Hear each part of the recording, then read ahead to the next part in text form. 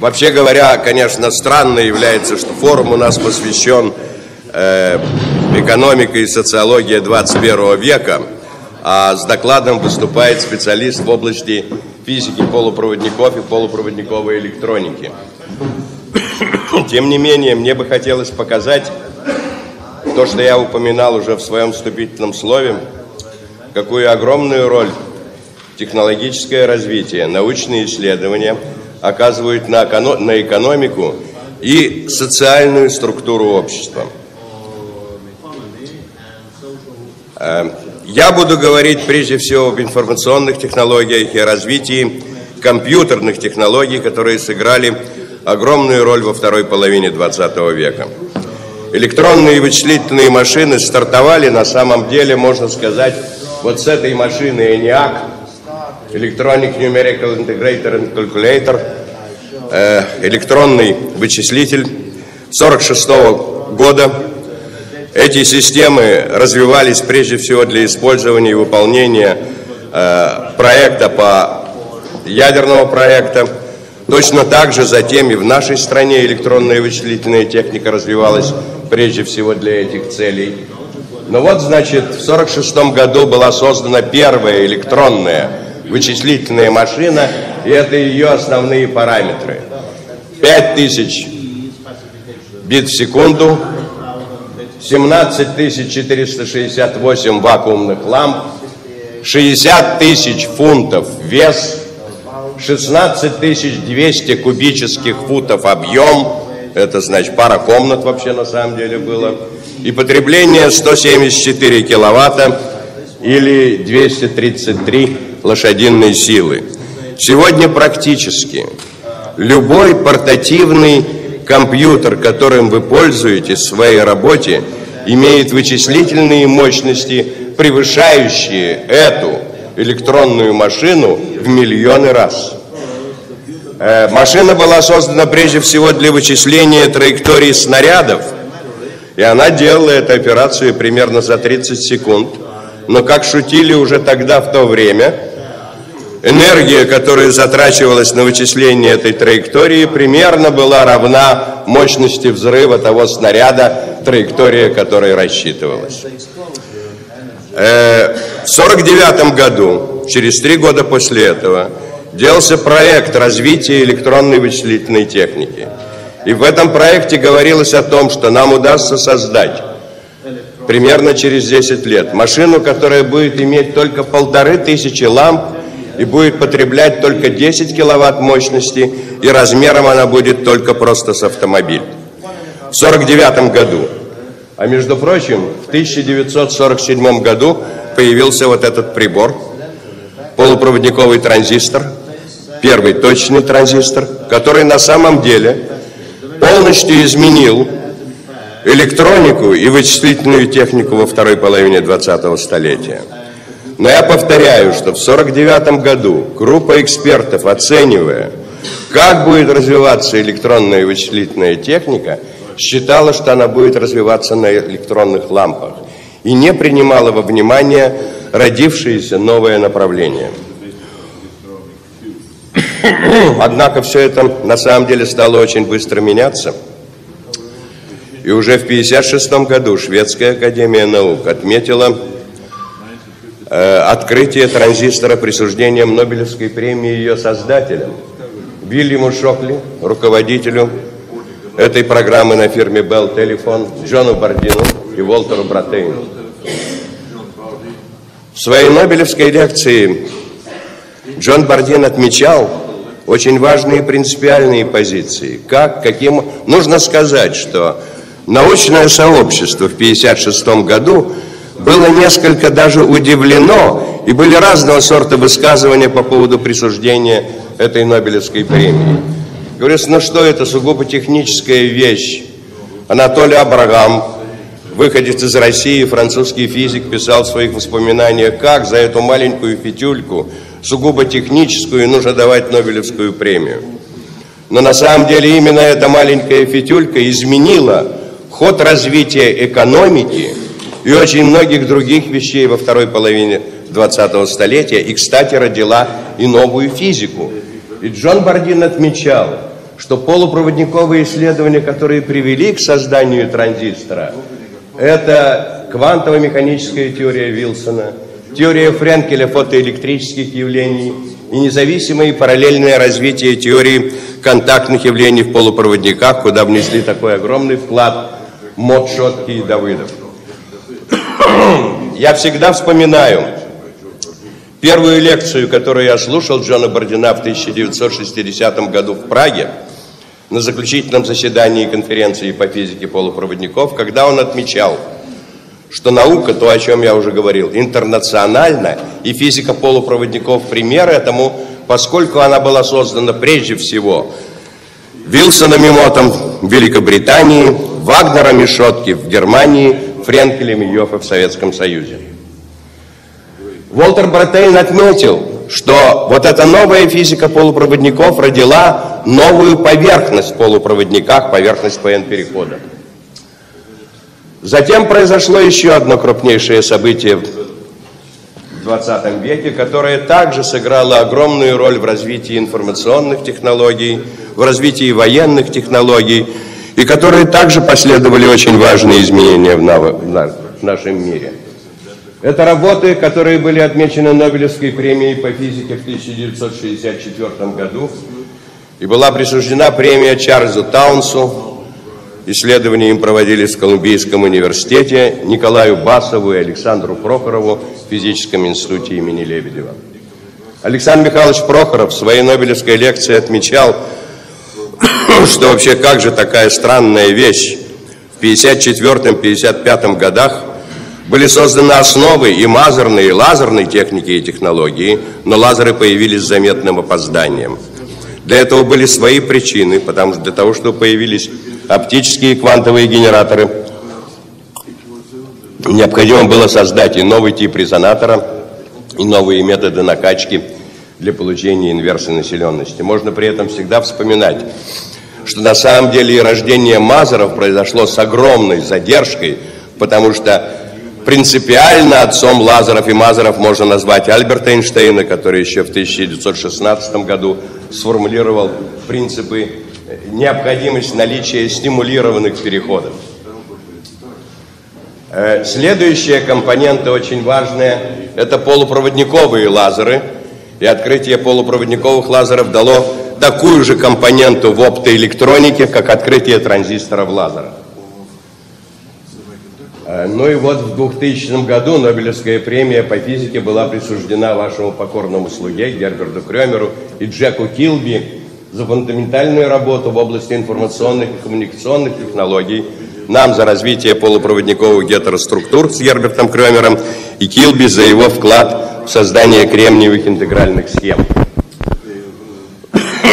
Профессор Торг Классен в своей презентации на вручении премии отмечал, что отмечается раннее развитие микроэлектроники и фотоники, которое было основано вот на этих вещах.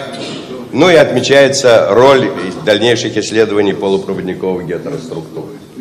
Джек Килби в своей Нобелевской лекции отметил, что на самом деле рождение кремниевых интегральных схем – то, что сегодня определяет развитие практически всей компьютерной технологии, было встречено э, в том числе и научным сообществом, э, на самом деле без больших восторгов. Более того, считали, что это слишком дорогие, неудобные и ненужные вещи, и будет развиваться технология уже на транзисторах, не на лампах, да, но на дискретных транзисторах, и интегральные схемы не найдут применения.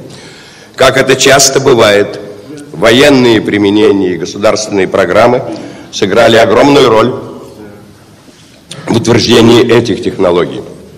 Практически сразу же программы Minuteman и Apollo проект появились основой, на основе которых кремниевые чипы выиграли соревнования в развитии микроэлектроники.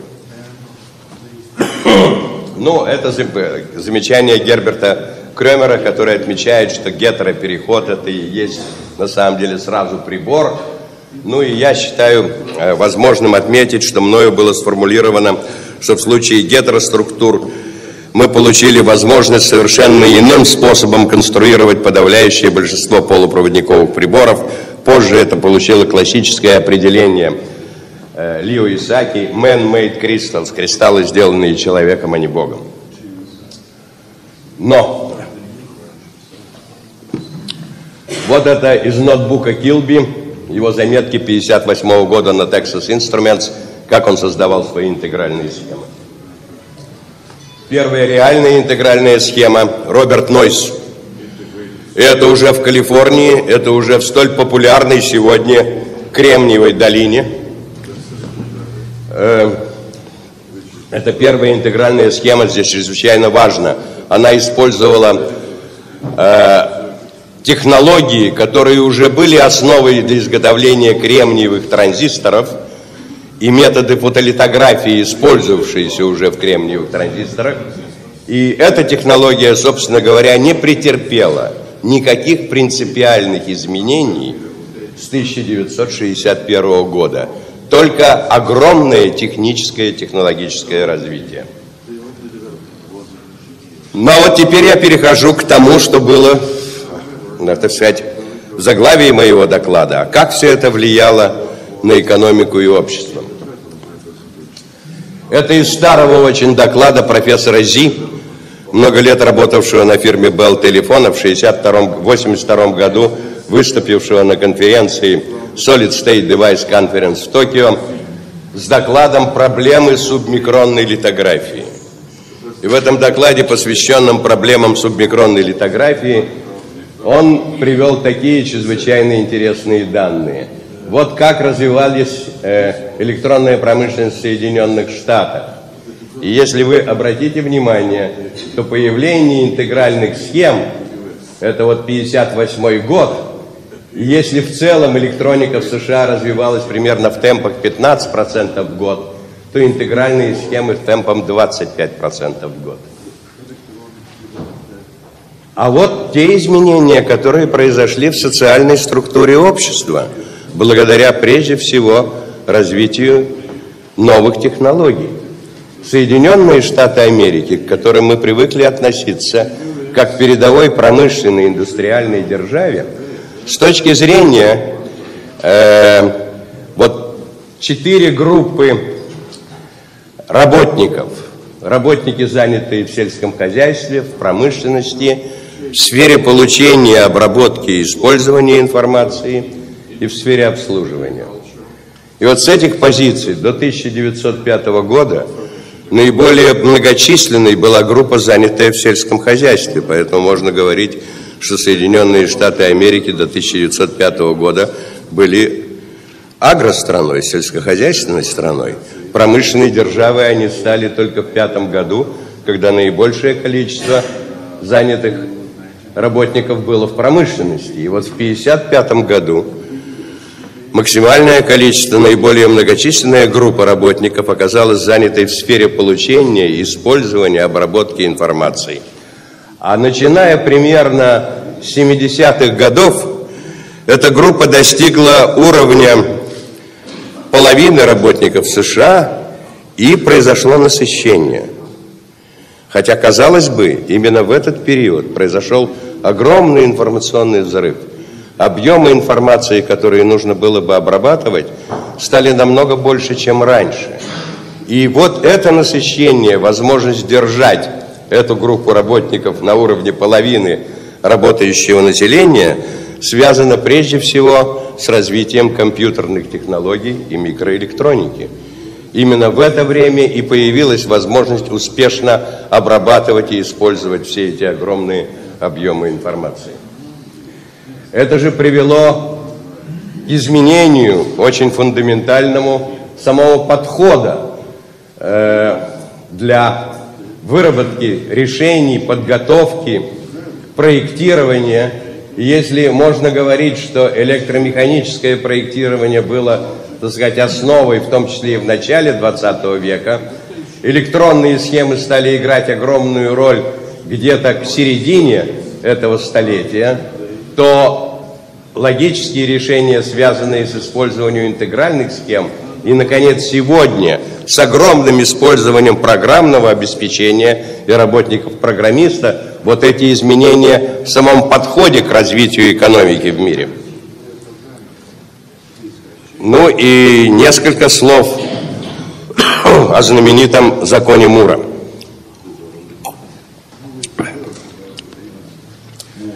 Сегодня, кстати, очень широко обсуждается, в том числе это поминалось и во вступительном слове нашего вице-губернатора и представителя президента Сколково. А когда поминают о Сколково, то всегда очень любят говорить о Кремниевой долине. И очень часто в нашей э, прессе, литературе, в средствах массовой информации э, Сколково – российская Кремниевая долина. Поэтому Важным является, так сказать, я скажу просто несколько слов об истории возникновения Кремниевой долины в Соединенных Штатах Америки. Моисеем Кремниевой долины с полным на то основанием всегда называли Вильяма Шокли. Шокли, руководивший работами по созданию полупроводниковых транзисторов на Bell Телефон, безусловно, был выдающимся ученым, прекрасным организатором. Мне довелось с ним встречаться и знать его. И, а его группа на Белл телефон рассыпалась. Первым покинул Джон Бардин, затем Джеральд Пирсон. И сам Шокли ушел из Белл телефон, считая, что научные достижения недостаточно высоко оцениваются. Что мы, которые создали все это, и сегодня, используя транзисторы, появляется масса миллионеров, в то время еще не говорили про миллиардеров, а мы, ученые, оплачиваемся за это крайне низко. Поэтому философия Шокли была, что нужно создать новые компании, в которых ученые будут играть основную и главную роль. В этих новых компаниях их разработки научные и прежде всего патенты станут основой их благосостояния, и они станут новыми супермиллионерами. Он привел замечательную команду молодых сотрудников в Калифорнию, поскольку сам он окончил когда-то Калтек. В эту компанию, кстати, никто не пошел с ним с Белл телефона, они все его уже хорошо знали. Но он, авторитет в это время Шокли в полупроводниковой физике был гигантским. И с ним поехали молодые люди, в том числе Гордон Мур, Роберт Нойс, масса других молодых людей, и была создана Shockley Transistor Corporation, помочь которую помог его старый друг Бекман, который в это время возглавлял крупную компанию Chemical Instruments. И в этой компании наступила быстро, как говорится, фиаско, потому что никто из его сотрудников не разделял его позиций, что можно на производстве патентов – стать вот необычайно богатым, и что нужно на самом деле в этих новых технологиях, а было огромное преимущество, привезены на Запад. Нужно всегда понимать, что в это время в Штатах э, развито было район Бостона, дорога 128, многие другие вещи. На Западе еще ничего не было, но была привезена группа молодых талантливых людей, которые привезли с собой новые хорошие технологии – и при этом они поняли, что нужно в первую очередь развивать, что развивать нужно реальное производство, реальные технологии, новых вещей, которые начнут завоевывать рынок. Результатом явилось, что Шокли остался для нас всегда Моисеем Кремниевой долины, но он вынужден был покинуть эту компанию, созданную им же, и вернуться профессором в Стэнфордский университет. Ну а вот как развивалась Гордон Мур, который был одним из создателей компании Intel в 1965 году. И дальше он предсказал, что когда появились первые интегральные схемы, что каждые 2-3 года будет удваиваться число компонент на интегральной схеме. Это получило название закона Мура. Вот это изменение размеров в электронных технологиях, начиная с 10 восьмой нанометров, то есть с электронных ламп, и кончая нынешней ситуацией, когда мы имеем уже производство в 32 нанометра. А это то же самое, плотность компонент, непосредственно закон Мура. Если все, если начиналось в интегральной схеме Роберта Нойса с двух-трех транзисторов и РЦ-цепочки, в 70-м году это были уже 10 тысяч транзисторов, то сегодня это миллиарды транзисторов на одной интегральной схеме, принципе работающей на, тех же, на той же принципиально, физически принципах и основах технологии, но благодаря совершенно гигантскому технологическому развитию. Ну, а в оптоэлектронике такой компонентой, которая сыграла роль в развитии информационных технологий и волоконно-оптической связи, и записи, и снятия информации из дисков и так далее, явился лазер, работающий при комнатной температуре на гетероструктурах. Гетероструктуры вошли широко в дело, и солнечные батареи в космосе. Но основой этих технологических вещей, и вот тут опять чрезвычайно важно, чтобы мы понимали всегда, насколько важны новые технологические методы. Мы сегодня во всем этом деле – Идем действительно в наномир и к наноразмерам. Сегодня мы должны создавать приборы и устройства, размер которых основных компонент исчисляется несколькими постоянными решетки.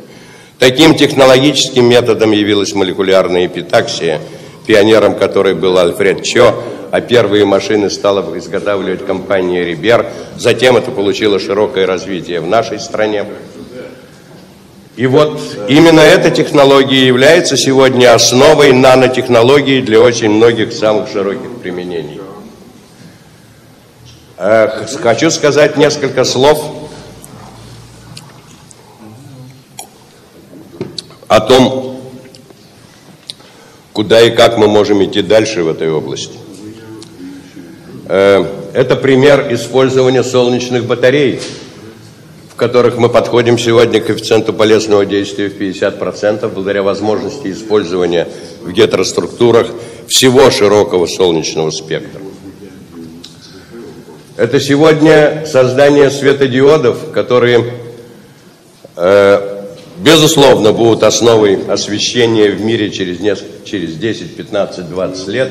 И сегодняшняя технология позволяет создать светодиоды, которые мы называем интеллектуальными источниками света, поскольку можно управлять его спектральным составом в течение дня, можно управлять его спектральным составом, проводя операции и при освещении, и при хирургических работах и многое другое. Полупроводниковые лазеры сегодня практически, как говорится, захватили почти весь мировой рынок. Э, а полупроводникам созрела мощная конкуренция – и такой конкуренцией является развитие полимерных материалов. Тогда же в 2000 году была присуждена Нобелевская премия. Э, да, вот это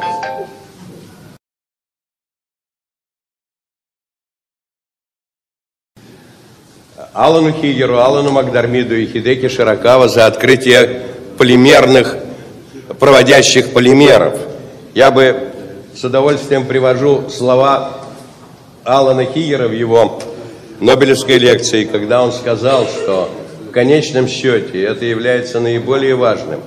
Проводящие полимеры предлагают возможность достижения э, в новой генерации полимеров материалов, которые показывают электрические и оптические свойства, такие же, как и полупроводниковые материалы, но которые при этом име, оставляют за собой механические свойства полимерных материалов и таким образом совершенно меняют технологические возможности производства огромного количества электронных компонентов, в том числе солнечных батарей и светодиодов и многих других.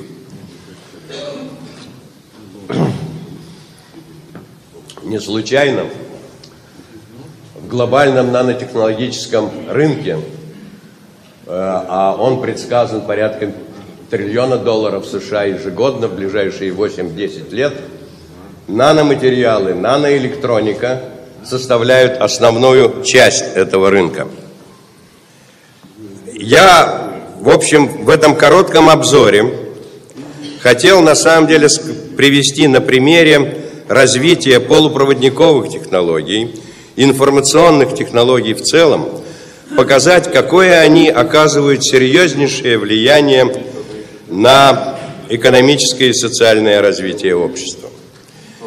Я не, не являюсь экономистом, не принадлежу к числу тех людей, которые э, отрицали бы значение рыночных механизмов и всего прочего, но при этом, я думаю, чрезвычайно важно э, понимать роль прорывных технологий в развитии экономики и влияние его на социальные проблемы в обществе. В этом отношении в заключение хочу сказать, что в том числе и в том проекте, который сегодня столь широко обсуждается, э, мне кажется, чрезвычайно важным будет возможность демонстрации того же самого, не, приоритета научных исследований и разработок, которые и составляют основу любой коммерциализации. Опыт, который мы имеем сегодня, по крайней мере, в нашей России, стране, четко показывает, что пренебрегая научными исследованиями и разработками, которые являются фундаментом экономического развития, мы на самом деле потерпим фиаско и в том, что называется коммерцией и коммерческими делами.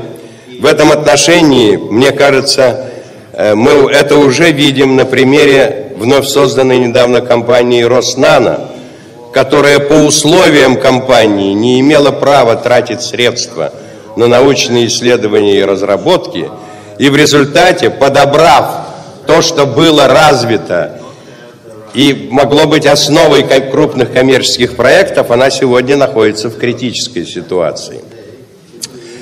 Э, я надеюсь, что это будет прекрасно пониматься и нашими властями и власть придержащими, потому что при этом нужно четко отдавать себе отчет, что основой, я хочу закончить свое выступление короткое, надеюсь, достаточно, э, что э, цитированием замечательного человека, с которым я имел удовольствие много лет общаться, выдающимся физиком, получившим Нобелевскую премию по химии, Джорджем Портером, бывшим много лет президентом Лондонского королевского общества, как-то сказавшим такие замечательные слова, что наука вся прикладная. Разница только в том, что отдельные приложения возникают очень быстро, а отдельные через столетия. И поэтому наша задача, когда мы говорим об экономике – и о коммерческих эффектах, уметь увидеть те приложения науки, которые могут возникнуть довольно быстро и привести к серьезным экономическим результатам, улучшая при этом социальную структуру общества. Спасибо за внимание. Потому что Роснано в настоящий момент практически выбрала все проекты, которые у нас были, на основе которых можно развивать крупные коммерческие проекты. И сегодня для того, чтобы идти дальше, или покупать просто фабрики и заводы, что они пытаются делать, потому что нужно было, тем не менее, с самого начала, вы это прекрасно понимаете, поддерживать, это иллюстрируется чрезвычайно простой, простыми цифрами, созданная в Академии наук программа фундаментальных исследований в области нанотехнологий, которая в соответствии с определением Джорджа Портера дает приложение очень быстро, имела бюджет первый год своего создания 250 миллионов рублей для всех многих десятков институтов, 180 миллионов рублей в этом году, и сравните это с суммами, которыми распоряжается Роснано. Э, я бы сказал следующую вещь проблемой, как заменить кремний другими материалами. Э, научные сотрудники, ведущие работы в этой области, занимаются, я думаю, с первого дня, как только кремний стал использоваться. Э, такими материалами нам казались, например, в 60-е и начало 70-х годов полупроводники А3Б5 и, в частности, арсенит галлия. Из этого ничего не вышло. Но гетероструктуры на основе полупроводниковых соединений А3Б5 стали основой развития информационных технологий, которые не решает кремний и кремниевые чипы. Это прежде всего оптоэлектроника и высокоскоростная электроника, солнечная энергетика. Затем открытие фуллеренов и углеродные вещи прекрасно, замечательно. И это тоже очень широко обсуждается, и появляются определенные очень крупные успехи. Вместе с тем, кремний, в технологию развития которого вложены многие триллионы долларов. И технология, которая сегодня есть и долго будет основной, и вряд ли что-либо изменится в ближайшее время. Появилась спинтроника, замечательная вещь, спинами управлять и, возможно, решение криптографических проблем и квантовых компьютеров пройдет много лет. Спинтроника, все эти вещи на самом деле успешно находят свои ниши в сфере информационных и прочих технологий. Графин, так все-таки правильно произносить его, верно? Ну, прежде всего, я бы сказал, что это замечательно, что Нобелевскую премию в этом году получили два российских физика, которые кончили московский физтех, которые начали свою работу в Институте физики твердого тела, в Черноголовке, в замечательном центре, ну и которые сделали свое выдающееся открытие в 2004 году уже в Великобритании. Это интереснейший объект для исследований с массой, и вы, наверное, прекрасно знаете, там уже открыта масса новых явлений. Вместе с тем не нужно переоценивать. Никакой смены кремнию из графина не будет. Гетероструктуры имеют значительно более широкое применение, и возможности их использования были гораздо яснее при их рождении. И они не пришли на смену кремнию. И здесь то же самое. Уникальные свойства этой структуры можно и должно использовать для самых различных применений. Но это моя позиция, я абсолютно уверен, что графин не придет на смену кремнию.